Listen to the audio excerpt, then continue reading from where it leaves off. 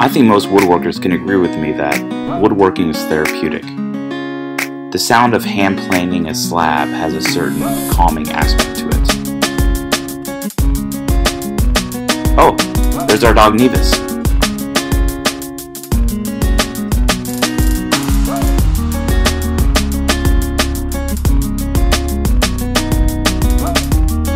Some friends of mine asked me if I could build them a live edge cherry shelf. So this is a short video of me building it. I hope you enjoy it.